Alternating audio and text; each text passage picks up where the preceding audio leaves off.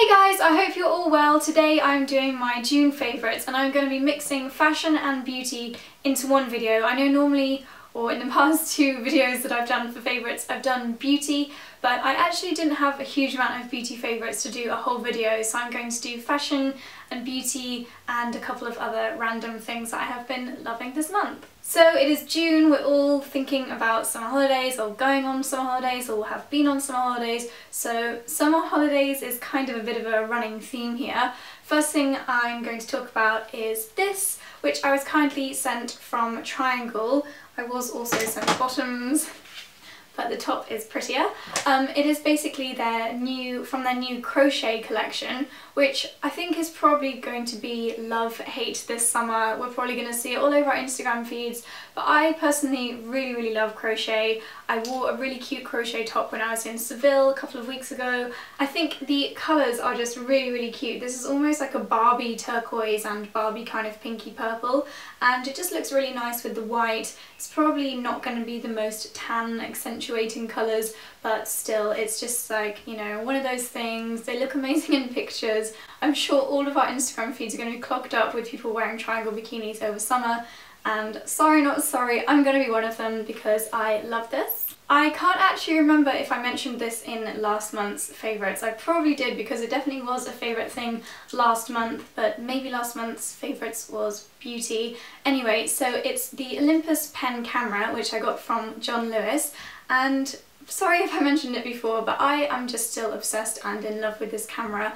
I also got the 45mm lens, which creates those beautiful blurry background pictures. It's got the flip out screen, so you can do your vlogs and your selfies and everything else. It does wireless, so it connects to your phone. You don't even need to have a Wi-Fi connection. You can just get the pictures straight on your phone.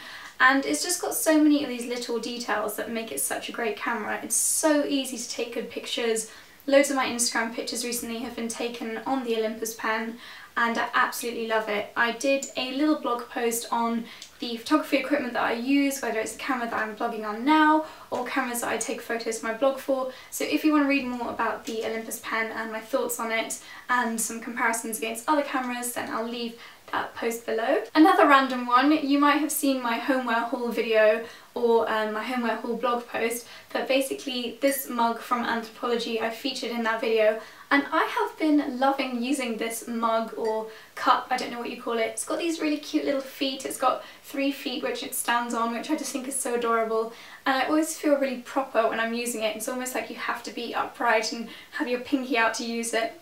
It's really hard not to spill. I do find my tea sometimes splashes over, so it's not the most functional of mugs, but it's so pretty and I absolutely love this.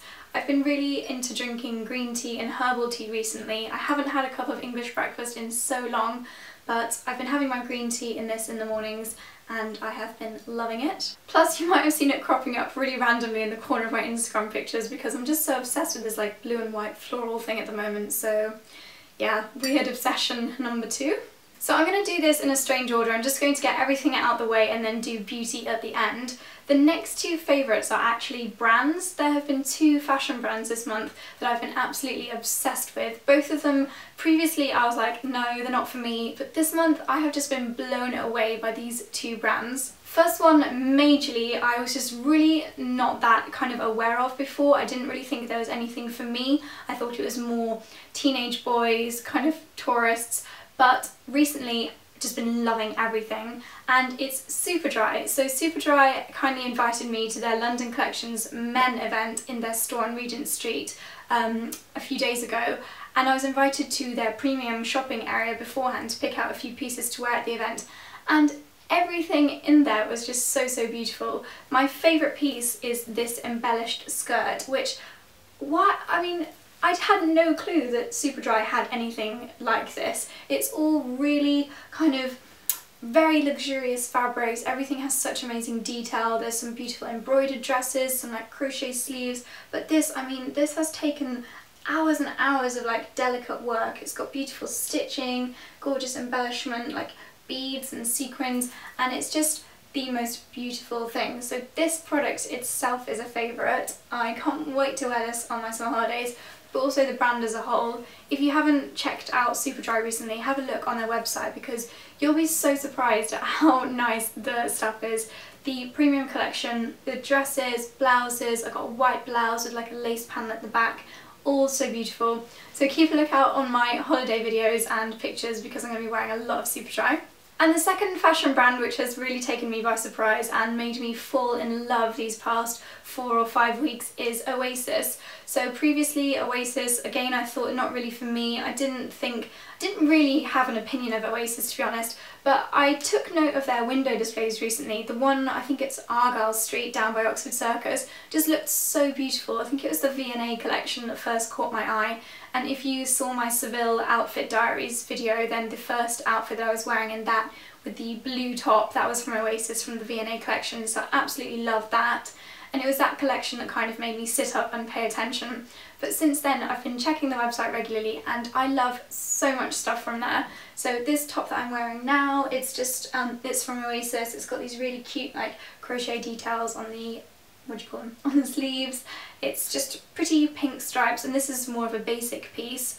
Um, also these trousers I got from Oasis, they're high-waisted, kind of stretchy cotton trousers.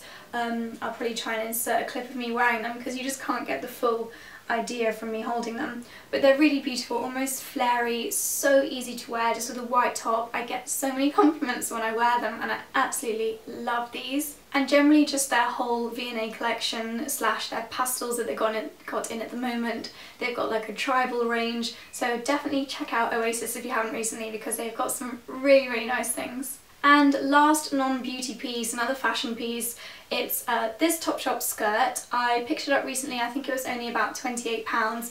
It's stretchy, so it doesn't have a zip or anything. I was really surprised how cheap it was and it just looks really, really cute. It's got this like scalloped hem at the bottom, which I'm really loving this kind of scallop detail at the moment.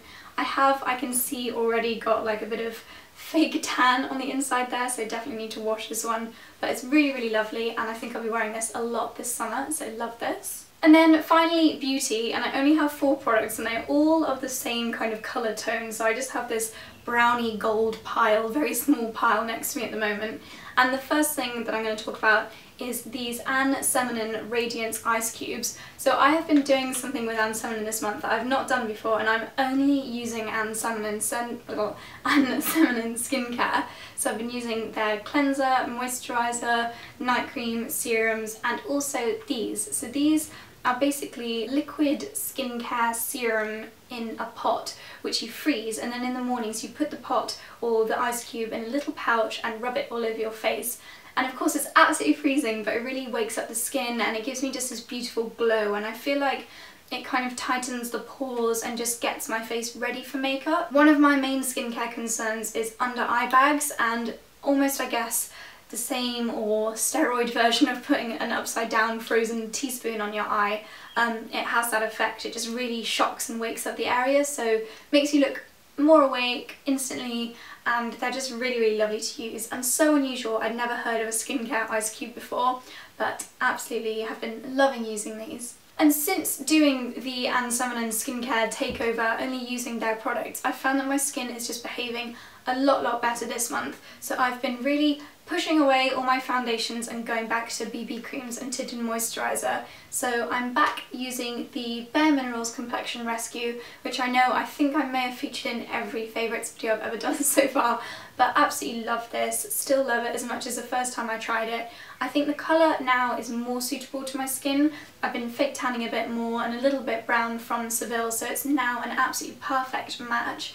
And it's just beautiful, it gives a really lovely glowy nourished feeling to your skin and it's not as heavy as a foundation. It's got SPF 30 so I'll be wearing this while I'm on holiday as well. So yeah, once again, Bare Minerals Complexion Rescue is a favourite. So the other makeup product which I've been loving this month is the Benefit They're Real Mascara in brown. I've actually only been using this for about a week but it's definitely a favourite. I already loved the black version and they have now brought out this mascara in brown and blue as well. I was really lucky to be invited to the launch event for this and the blue mascara and the Push Up They're Real liners which they brought out in blue, green, purple and brown all surprisingly really really wearable. When I was offered purple liner I was a bit like oh I've got so much to do after this event I don't want to look really scary but it was so beautiful, got so many compliments. If you've got hazily eyes like me then I definitely recommend the purple but as an everyday product I've been using the They're Real mascara in brown. I find that brown just looks a lot more natural and it's much easier to wear than black. Black can be really intense, I mean there's nothing wrong with that but I've just been really loving switching it down to a brown recently. Been building up a brown, very kind of everyday soft smoky eye and finishing it with this.